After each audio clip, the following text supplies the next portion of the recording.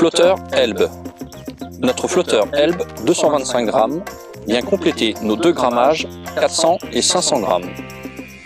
Ces flotteurs sont destinés à la pêche avec de gros vifs, à poste fixe ou en dérive. Ils peuvent s'utiliser de deux façons.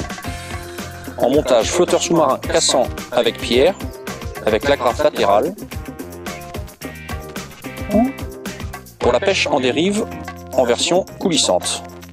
Nos flotteurs sont équipés d'un tube silicone à l'intérieur pour un meilleur coulissement sur la ligne et limiter l'usure lors de l'utilisation avec la tresse. Vendu à l'unité.